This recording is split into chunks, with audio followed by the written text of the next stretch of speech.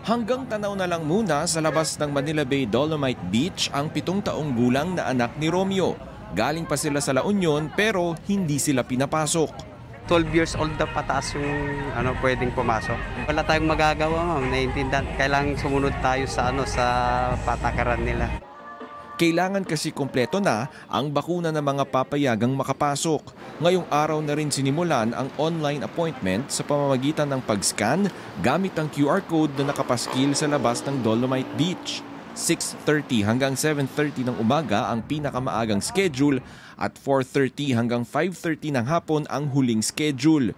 Isang oras lang papayagang manatili sa loob ang mga bisita. Inilipat na rin ang pasukan para sa mga buntis, PWD at senior citizen.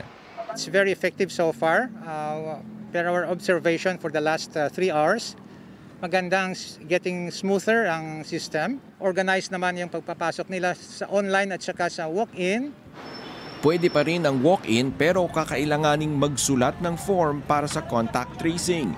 300 na tao lang ang pwede sa loob bawat schedule mas mabilis makakapasok ang mga nagpa-schedule online dahil walang pila.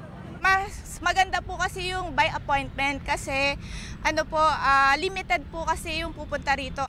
At hindi po siya magiging crowded at ma-maintain po yung social distancing. Para wala ng hassles masyado, huwag na tayo magdala ng foods and drinks para tuloy-tuloy. At saka of course yung pets bawal din dito. And be reminded pagpasok dito, wala na tayong ano no, bawal magdala ng ano, mag-collect ng mga dolomite sand natin and mga littering. Bawal pa rin ang paliligo sa dagat dahil mataas pa rin ang antas ng coliform.